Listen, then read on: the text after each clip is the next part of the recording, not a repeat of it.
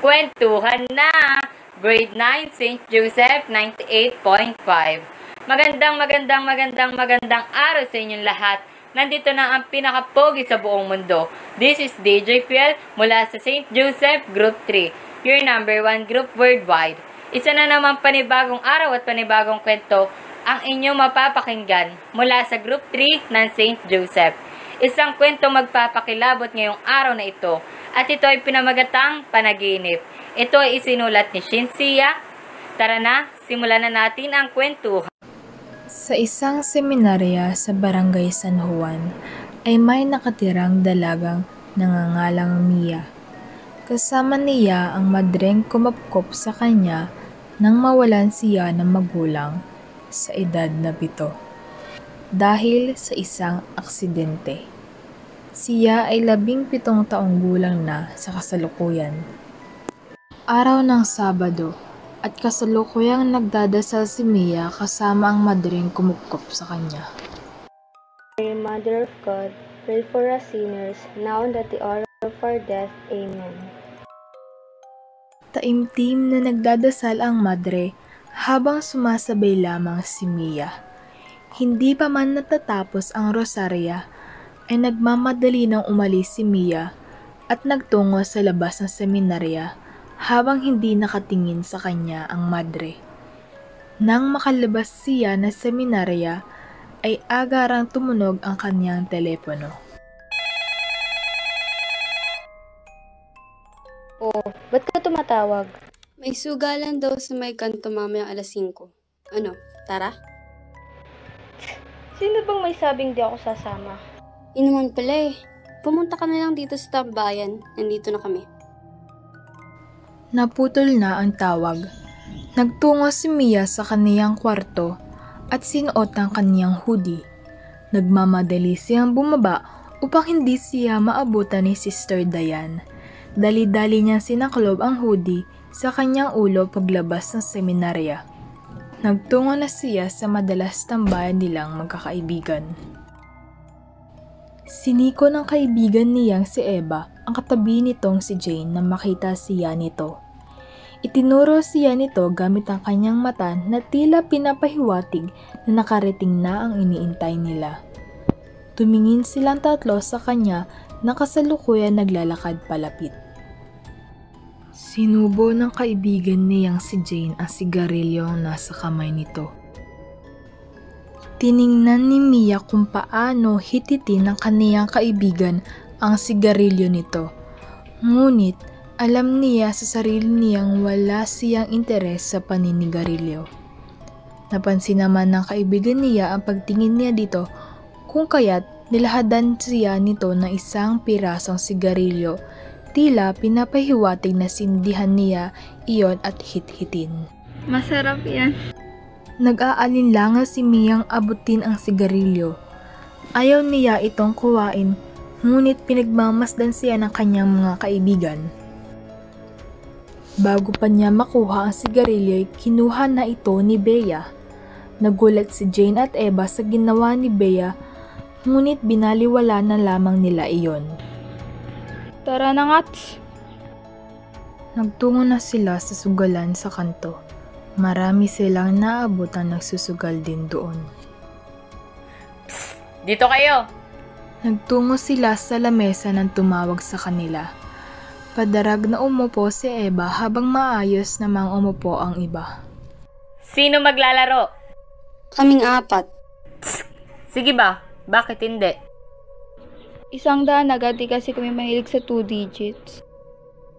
Sige, kayo ang bahala. Total kayo rin naman mawawalan. Yabang. Sinimulan na nilang maglaro.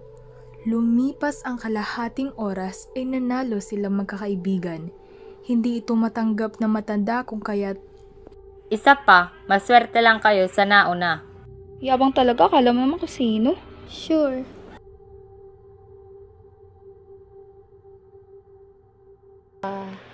Jane, gabi na, uwi na tayo? Ano ka ba? Alas 7 pa lang, oh. Huwag kang praning. Eto naman. Oo nga. Kaya talaga? Hoy, kayong apat, tawag kayo ng matanda. Ano ba yan? Creepy naman ang matandang yan. Takotin ka lang eh. Lumapit na nga tayo. Baka bigyan tayo ng agimat, pampaswerte. Tawag niyo daw po kami. Nginitian lamang sila ng matandang babae. Bahagyang nabahala si Mia sa ngiti na matanda at di niya alam kung guni-guni niya lang ba iyon o nakita niya siya ang ngitian nito. Binaliwala niya ito at sinantabi ang nararamdaman. Gusto ko sana kayong makalaro. Balita ko kay Bilma, natalo niya daw si Ipe. Gusto kong makalaro rin kayo. Pasensya ka na la. Di kasi kami tumatanggap ng laro lang. Mahilig kasi kami sa give and take. Alam mo na po, naglalaro lamang kami pag may kapalit kami natatanggap, lalo na kung pera. Siniko si Eva ni Bea at tinawanan naman siya ni Jane. Habang gusto nang makauwi ni Mia dahil sa kabang nararamdaman niya. Hindi niya matukoy kung saan nagmula. Ayaw niya mag-isip na masama o nakakabahala. Magkano ba ang gusto ninyong kapalit? Eh syempre po, di naman po siguro masaya kung 2 digits lang, di ba? Eh kung opinion ko po ang tatanungin nyo, baka naman po pwedeng 150. Mahilig pala kayo sa ganyan. Tamang-tama at pinili ko kayo. Hindi alam na magkakaibigan kung may ibig sabihin ba ang sinabi ng matanda. Napawi ang ngiti ng magkaibigan, ngunit kaagad rin namang bumalik maliban kay Mia. Bakit hindi na lang isang libo ang pagtayaan? Ah, wag na lang po. Baka umuwi kaming walang dala. Di nyo naman kailangan tumaya. Kondisyon lang ang nais kong kapalit. Hindi na nagugustuhan ni Mia ang nararamdaman niya. Tumaas ang kaniyang balahibo nang dumaan ang tingin na matanda sa kanya. Hinawakan niya ang kamay ni Bea nang wala sa oras. Tiningnan siya nito. Ah, anong kondisyon? Gusto ko lang na dalawin ninyo ang puntod ng aking anak at mag-alay kayo ng bulaklak. Kaarawan niya kasi ngayon at kung maaari ay kantahan nyo siya. Po? Eh, yun lang naman pala eh. Sige, lalaro kami. Nais ko sanang isa lamang ang maglaro sa inyo. Alam ninyo na matanda na ako. Di ko kayo kakayaning apat. Sino ho bang gusto niyong kalaro? Siya na sana. Kinabahan si Mia sa tingin na matanda sa kaniya. Bahagya siyang lumunok. Siniko siya ni Eva tila inuudyok na sundin ang pasya na matanda. Tiningnan siya ni Jane at Bea tila pinapahiwatig na sundin rin ito. Ha? Okay. Ngumiti ang matanda at nilahad ang lamesa kung saan sila maglalaro. Nakaupo na sila ay nakatitig pa rin sa kanya ang matanda. Sinimula na nilang maglaro. Bahagyang kumunot ang noo ni Mia sapagkat parang pinaglalaroan lamang siya ng matanda. Nanalo ang matanda at hindi maiwasan ni Mia na magtaka kung bakit di pa nito tinapos simula kanina, gayong kayang-kaya naman ito ng matanda. Ano ba yan? So, sorry. Guys, Saan po ang puntod ng anak niyo? Hali kayo, dadalhin ko kayo doon. Mia, mauna na ako. Kaya mo na naman siguro yan. Ha? Sige. rin ako ah. Wala na naman akong gagawin dito. Diyan naman si Bea. Kayo na lang dalawa. S- sige. On. Tara na. Susundan po namin kayo? Nagsimula na silang maglakad. Habang naglalakad, hindi maiwasan ni Mia ang pagmasdan mula sa likod ang matanda. May kakaiba siyang nararamdaman tuwing natingin sa kanya ito. Para bang kilalang kilala niya ito kahit hindi naman. Mabait na bata iyang anak kong si Camila. Kaya nga di ko akalaing bigla na lang siyang kukunin sa akin. Kaisa-isa kong anak, di ko inakala noon na magkakaanak pa ako sa edad na 45. Matalinong bata, mabait at masipag at masunurin yang si Camila. Madaming pangarap sa buhay na nais makamit. Sayang nga at hindi man lamang niya naranasan ang makapagtapos. Tiningnan ni Mia ang matanda. Hindi niya dapat dinanas ang karahumal-dumal na pagbababoy sa kanya. Kung may isang tao sanang tinulungan siya ng gabing iyon, ay pasasalamatan ko siya habang buhay. Lumingon ang matanda at tiningnan siya habang nakangisi. Hindi maiwasin ni Miyang isiping may nais iparating ang matanda sa kanya. Nandito na tayo. Kung saan ko huling nakita ang aking anak bago siya mahulog sa bangin. Nagulat si Mia sa sinabi ng matanda at doon niya lang napansin na may bangin na kalapit ang damuhan. Teka lang, Mia, ah, may tumatawag. Oh, okay. Ilang taon ka na iha? 16 po. Bata ka pa, marami ka pang oras. Hindi mawari ni Mia kung may ibig sabihin ba iyon o masyado lamang niya itong binibigyang kahulugan. Mia, una na ako ha. May emergency kasi sa bahay. Kailangan na talaga ako ngayon.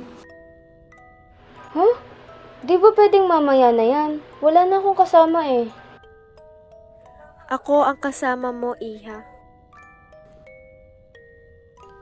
Biglang kinabahan si Mia kahit wala namang mali sa sinabi ng matanda. Una na ako ha. Kasama mo naman si Lola dyan. Ah, ano? Teka lang. Is na ang kaibigan niya bago pa man niya sabihin ang nais niyang sabihin. Sila na lamang na matanda ang natira at di niya mapigil ang kabahan ng walang dahilan. Hindi niya maintindihan kung bakit ninanarebyo siya sa tuwing titingnan siya ng matanda. Halika, samahan mo akong lapitan ang bangin.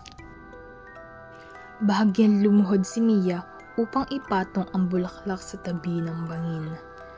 Patayo na sana siya nang maramdaman niyang nakapatong ang kamay ng matanda sa kanyang balikat. Tila ayaw siyang patayuin. Mabilis ang tibok ng puso niya sa maaring gawin ng matanda sapagkat isang tulak lamang nito sa kanyang balikat ay didiretso-diretso na siya sa bangin. Huwag kang matakot, hindi ako mamamatay tao. Sige na, kantahan mo na ang aking anak. Unti-unting kumanta si Mia at nauutal-utal pa dahil sa kabang nararamdaman niya.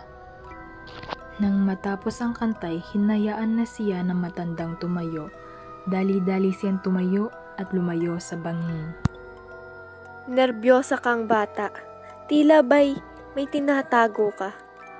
Ah, wala po. Mauna na po ako. Dali-daling tumakbo si Mia paalis at mabilisan naglalakad pauwi nang tila'y nararamdaman niyang may nakasunod sa kanya. Hindi niya maiwasan lumingon. Naaninaw niya ang isang anino, ngunit wala namang kahit sino. Mas binilisan niyang maglakad na pauwi sa kanilang bahay kahit naramdam niya parang tilang may nakasunod sa kanya. Nang makarating sa kanila'y dali-dali niyang tinanggal ang kaniyang hoodie at nagmamadaling umakyat sa kanilang hagdanan. Papasok na siya sa kanyang kwarto nang magulat siya sa anino ng kung sino. Oh, gabi ka nata nakauwi. Ikaw talagang bata ka. Maghunostili ka minsan, inaabot ka na ng anong oras oh. Ah, papasensya na po. Di na po mauulit. Siya, sige. Magpahinga ka ng maaga. Kasalukuyang siyang nakahiga sa kama habang nakatitig sa kisame. Hindi niya maiwasang isipin ang nangyari kanina. Hanggang ngayon, ay nanginginig pa rin siya sa takot at kaba. Hindi niya alam kung bakit siya nakokonsensya sa isang bagay na hindi niya alam. Dahil sa matinding pag-iisip ay nakatulugan na niya ito. Nang gabing rin yon ay napanigintipan niya ang babaeng anak ng matanda. Sino ka? Huwag kang lalapit sa akin. Wala kang dapat ikatakot. Sino ka ba? Nasaan ako? Anong ginagawa ko dito? Huwag kang matakot sa akin.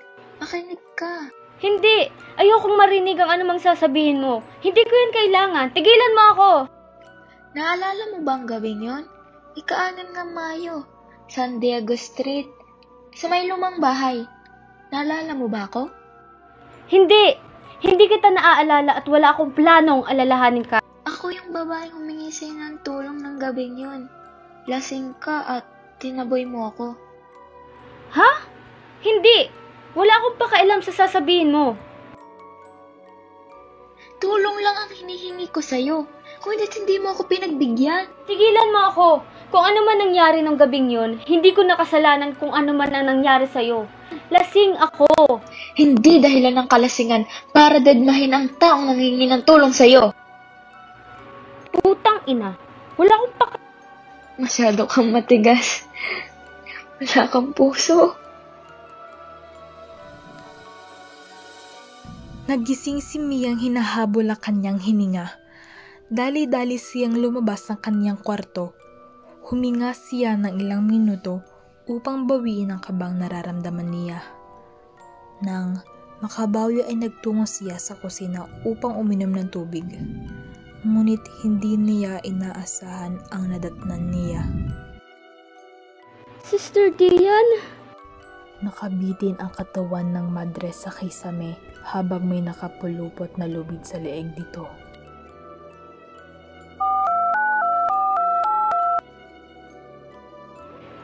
Hello?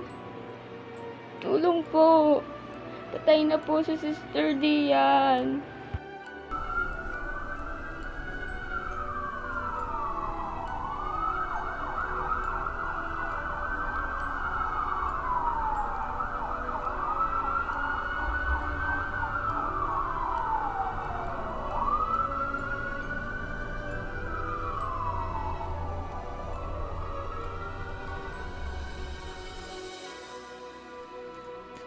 Nakaraan ng ilang minuto'y nakarating na ang mga pulis at nabalot ng tape na dilaw ang buong seminarya. Dumating rin ang kaniyang mga kaibigan nang marinig ang balita. Wala siyang imik buong maghapon at tulala dahil hindi alam ang gagawin. Katabi niya ang kanyang mga kaibigang umaalo sa kanya. Ma'am, tapos na po ang investigasyon. Mukha pong saksid ang nangyari. Ipinadala na po ang bangkay sa pulinarya at hinahandaan ang kabaong. Inako na po ng simbahan ang mga babayarin. Mauna na po kami. Hindi maipaliwanag ni Mia ang nararamdaman dahil kahit sinong isipin niya ay hindi siya makahanap ng dahilan upang magpakamatay ang madre. Hindi siyang naniniwala nagpakamatay ito. Tingin niya may gumawa nito at isang tao lamang kanyang naiisip na may dahilan upang gawin ito sa kanya. Suicide. Katangahan. Walang dahilan para magpakamatay siya. Anong ibig mong sabihin? May pumatay sa kanya at ipinalabas lang nito na nagpakamatay si Sister Dian at isang tao lang ang nasa isip kong may dahilan para gawin yun. Nananakot ka naman, Mia eh. Mabilisang naglakad si Mia palabas ng bahay habang tinatawag naman siya ng kanyang mga kaibigan. Hoy, nasisiraan ka na ba? Huminahon ka nga. Nagtungo siya sa bahay ng matandang babae na tingin niya may kagagawa ng pagkamatay ni Sister Diane. Kinalabog niya ang pinto sa labas ng bahay nito. Lumabas ka diyang matanda ka. Tigilan mo yan, nakakahiya. Ano ba? Pinagtitinginan ka na oh.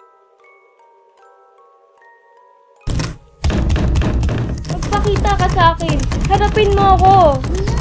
Ano ba naman to? Baka may magawa Mia, pa tong mali. tumigil ka na. Walang sasagot sa'yo dyan. Patay na ang matandang babae. Ha? Nahulog daw ang matanda sa bangin. Kung ayaw mong masisi, tumigil ka na at bumalik na tayo.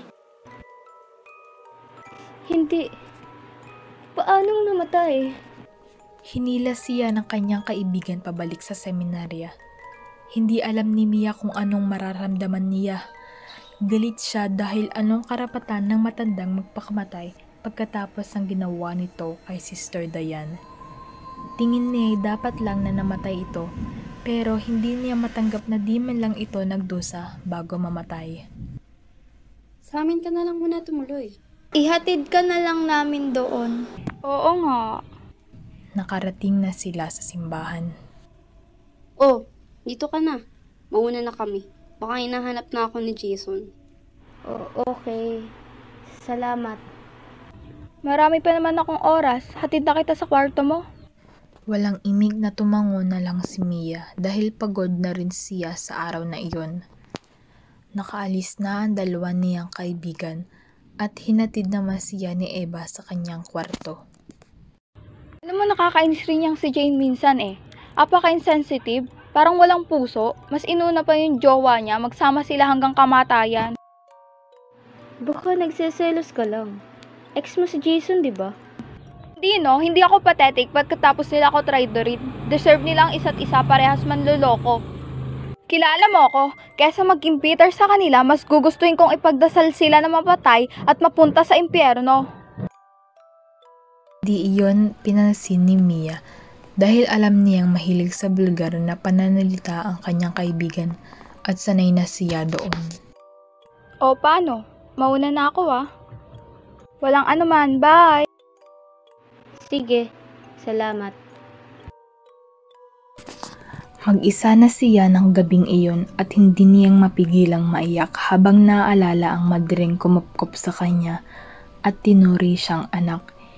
Hindi siya makapaniwalang napakadamot ng mundo sa kanya at kahit ang pangalawang nanay niya ay pinagdapot sa kanya. Inaalala niya mga memorya niya kasamang madre at kung paano siya nito ay nalagaan, pinag-aral, binigyan ng tahanan na makatulugan niya ito. Kasalukuyang naglalakad si Mia pauwi sa kanilang bahay ng gabing iyon. Buwan ng Mayo, ika-anim na araw. Madilim ang paligid at paika-ika siyang lakad. Epekto ng alak sa kanyang katawan. Papikit-pikit siyang naglalakad sa gitna ng daan sa baryo San Diego, Segunda Street. Nang biglang may humablot sa kanan niyang kamay. Tulong! Tulungan mo ako! Pinagmasdan ni Mia ang umawak sa kanya. Umiikot na ang kanyang paningin kaya't hindi niya ito makita ng maayos. Gutay-gutay ang nakabalapot ditong puting damit at may benda sa ulo. Tulungan mo ko.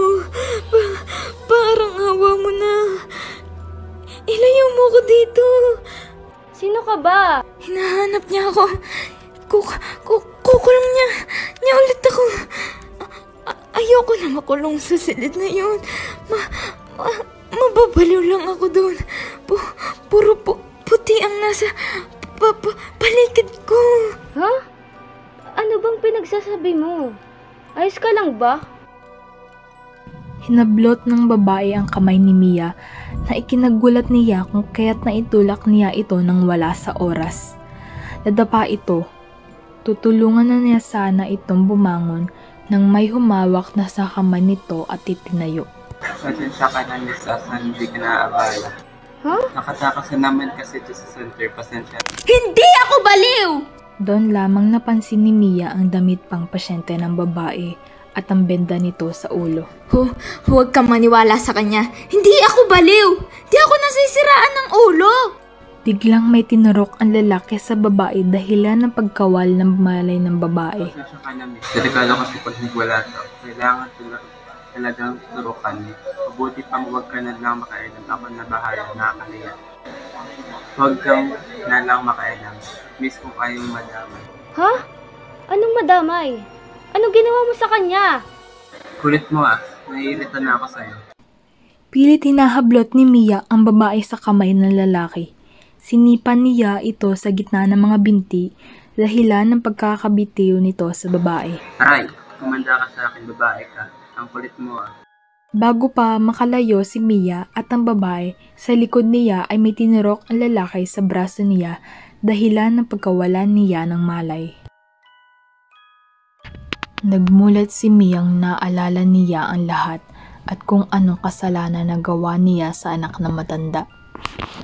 Kasalanan niyang namatay ito kung sana'y pinakinggan niya ito at tinulungan lumayo, sana'y nabubuhay pa ito hanggang ngayon. Hindi siya makapaniwalang naging dahilan siya sa isang karumal-dumay na pangbababoy sa babae. Dali-dali siyang tumayo sa higaan at naisipan dalawin ang bangin na pinaghulugan nito at humingi ng pasensya. Pagkalabas niya na simbahan ay agad sumalubong sa kanya si Bea. Mia! Anong ginagawa mo rito? Nasa sina Eva at Jane. Iyon na nga ang pinunta ko dito. Bakit? May nangyari ba? Nasa kulungan si Eva ngayon. Ha? Inakusahan siyang pumatay kay Jane at Jason. Pumatay? Patay na si Jane? Anong ibig mong sabihin? Ano bang pinagsasasabi mo? Na-report kanina ang walang buhay na katawan ni Jane at Jason sa isang resto. Lasan daw ang kinamatay ng dalawa at ang nakita sa CCTV ay si Eva ang nag-serve ng pagkain at inumin nila. Ano?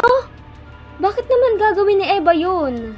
Hindi ba't ex niya si Jason? Pinagtaksilan siya ng dalawa. Masyadong mababaw ang rasong yun. Para gawin yun ni Eva. Nga rin ang naisip ko pero sabi ng mga klase natin na baliw si Eva kay Jason. Narinig pa daw nilang pinagdadasal noon ni Eva na magsama ang dalawa sa impyerno. Doon, naalala ni Mia ang sinabi ni Eva ng gabing hinatid siya nito sa kaniyang silid. Hindi niya sinaryoso yon sapagkat alam niya hindi yun gagawin ni Eva. Ang mabuti pa, puntahan natin si Eva sa presinto. Hinarangan sila ng isang pulis na makarating sila sa presinto. Pangalan at dahilan ng pagparito. Bigan po kami ng babaeng na-report kagabi dito sa kasong pagpaslang. Pangalan? Mia Cruz at Bea Lim po. Hindi pa pwede tumanggap ng bisita ang nakakulong. Iniimbestigahan pa ang kaso niya. Bumalik na lang kayo sa isang linggo. Po, kakausapin lang naman po namin siya. Kaibigan po namin siya. Sinabi ng hindi pwede. Huwag kayong makulit. Bumalik na lang kayo sa isang linggo kung gusto niyo pa talaga makita ang press. Pero kailangan po naming makausap siya. Kayo ang kukulong ko pag hindi kayo tumigil. Mia, tama na. Sa isang linggo na lang tayo bumalik. Bea, kailangan tayo ni Eva ngayon. Alam ko, ang sinasabi ko lang baka mas lalong din natin siya makita pag nakulong tayo sa selda. Walang nagawa si Mia kung kaya't umuwi na lang sila. Araw-araw silang bumabalik doon upang makita kung pwede na at lagi naman silang nabibigo. Lumipas ang limang araw nang may makarating sa kanyang balitang nagpakamatay ang kaibigan niyang si Eva sa loob ng kulungan. Dali-dali niyang tinungo ang presinto Naabutan niyang may nilalabas na bangkay ang mga pulis. Nagmamadali siyang tumakbo palapit rito, ngunit pinigilan siya ng mga staff. Eva! Kaibigan ko yan! Tumabi nga kayo! Ano ba? Mia, kumalma ka. Ha? Bakit? Sabi ng mga tao, hindi daw kinain ni Eva sa loob ng selda dahil ni isang kakilala walang dumalaw sa kanya. Nagpakamatay daw siya dahil sa depression at sabi ng iba'y masyado daw nakonsensya sa ginawa kay Jane at Jason kaya nawala sa tamang pag-iisip. Eh, hindi baliw si Eva. Mi- Mia, di ko na kaya. Nawala na si Jane, pati ba naman si Eva? Inalo niya ang kaibigan si Bea at pinatahan kahit siya mismo'y sobrang nasasaktan na sa nangyayari. Tatlong tao na ang nawala sa kanya sa loob lamang na tatlong linggo. Hindi niya na alam kung saan kukuha ng lakas. Nandito ako, Bea. Hindi kaya ako nang sumunod. Bea, huwag kang mag-isip ng ganyan. Mia, hindi ko maiwasang isipin na sunod na ako. Natatakot ako, Mia. Ayoko pang mamatay. Wala nang mamamatay sa atin, Bea. Walang Mia, susunod. samahan mo ako sa bahay. Kahit isang linggo lang. Wala ang mga magulang ko ngayon. Natatakot ako. Oo. Tahan na. Sasamahan kita. Nang pauwi na sila'y dikit na dikit si Bea sa kanya, tila ba'y takot na mawala siya sa paningin nito. Bea, kukunin ko muna mga gamit ko. Sasama ako. Nang makuha ni Mia ang mga gamit niya'y dumiretso na sila sa bahay ni Bea. Nagtungo sila sa kwarto nito at doon muna sila nagpalipas ng oras hanggang ginabi na sila at makatulog na si Bea. Nauhaw si Mia kaya naisipan niyang bumaba at uminom muna ng tubig. Pagkainom niya ng tubig, inilagay niya ito sa lababo. Ngunit di niya maiwasang mapansin ang nakaawang na pinto ng kwarto kalapit ang lababo. Dahil sa kuryosidad, ay pinasok niya ito. Madilim ang kwarto, kaya't hinanap niya ang switch nito. Nang makapay, pinindot niya ito at bumukas ang ilaw sa silid. Hindi makapaniwala si Mia sa kanya nakikita. Ang kwarto ay puno na nakapiskil na litrato ni Bea kasamang isang babae. Ang babaeng si Camila. Nanginig ang kalamnan niya sa nakikita. Base sa mga litrato ay kapansin-pansin ang pagiging malapit ng dalawa. Bumaba ang kanyang paningin at biglang nalaglag ang puso niya sa nakita. Gusto niya lang magtatakbo palabas ng bahay na makita ang litrato niya kasama ang litrato ni Jane, Eva at Jason na may pulang eke sa muka. May lubid din ang mga kasangkapan sa paggawa ng bahay ay nasa loob ng silid. Dali-dali niyang kinuha ang litrato na may marinig siya.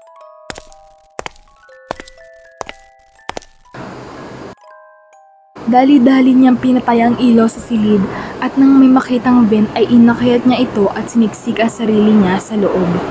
Mabilis ang tibok ng kanyang puso sa mga sandaling iyon. Kita niya mula sa taas ng kisame ang loob ng silid. Dahang-dahang bumukas ang pinto.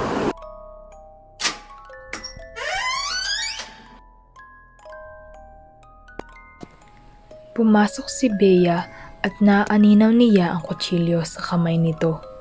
Mas lalong bumilis ang tibok ng kanyang puso. Binuksan nito ang ilaw at inipit ang ulo sa paligid, tila may hinahanap. Palabas na sana ito nang tumigil ito at lumapit sa mga litrato. Doon, na-realize ni Mia na dala-dala niya ang litrato niya. Gusto niya murahin ang sarili mas lalong dumagdag ang kaba sa dibdib niya. Ikaw talaga, Mia. Tatakas ka na nga lang. Mag-iiwan ka pa ng ebidensya. Kung ako sa'yo, lumabas ka na kung nasan ka man. Unti-unting umangat ang tingin nito sa kisame, papunta sa kanya. Nanlamig si Mia, pawis-pawisan na siya dulot ng kaba at init sa loob ng kisame. Dali-dali siyang gumapang palayo sa silid. Bumukas ang vent papunta sa kisame at hinablot ni Bea ang paa niya. Pilit hinihilas siya pababa. Parang awa mo na, Bea. Tigilan mo na ako. Dire-diretso siyang nahila nito pababa. Nang makatayo siya ay nagtatakbo siya palapit sa pinto nang hilahin ni Bea ang buhok niya at tinapatan siya nito ng kutsilyo sa leeg mula sa likod. Parang awa mo na, Bea. Ginawa ko ang kaya ko nung gabing iyon. Pero hindi sapat ang ginawa mo. Kung hindi ka sana nag-alinlangan, hindi sana nangyari kay Camila yun. Bea, please. Pinagsisisihan ko na yun. Hindi ako santo para tanggapin ang pagsisisi mo. Sinikon niya ang tagiliran ni Bea. Dahilan ng pagkakahulog ng kutsilyo na katutog sa leeg niya. Dali-dali siyang lumabas sa silid. Aray! Humanda ka sa akin. Tumakbo si Mia sa front door pero hindi niya ito mabuksan. Nagmamadali siyang umakyat ng hagdan hanggang makarating siya sa rooftop. Hindi niya na alam kung saan siya pupunta. Nang makita niya si Beng kaakyat lang rin sa rooftop. Sinugod siya nito at tinulak papuntang railings habang sinasakal siya. Pinagdidiinan siya nito dito at pilit tinutulak para mahulog. Mahigpit niyang hinawakan ang railings para kumuha ng suporta. Matigas kang babae ka.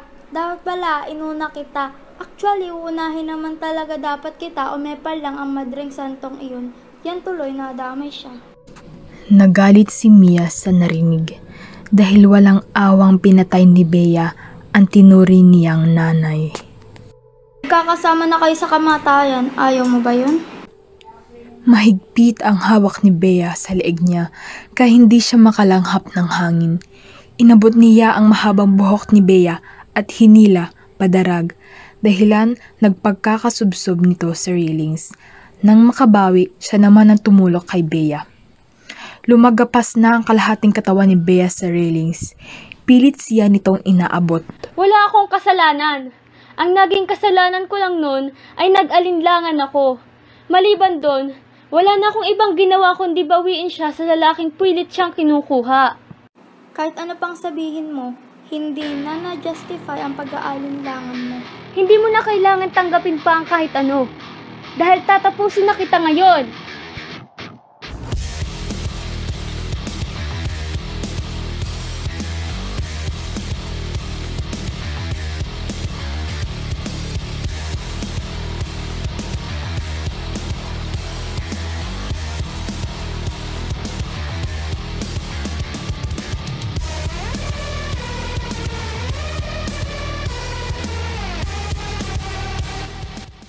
Nakakalungkot naman ang mga pangyayari ng kwento natin ngayon. Naku mga bes, huwag tayo uwi mag-isa ng lasing. Baka magaya tayo kay Mia. Sana'y pinakilabutan namin kayo. Muli, this is DJ Fiel mula sa Group 3 ng St. Joseph, your number one group worldwide. Hanggang sa muli!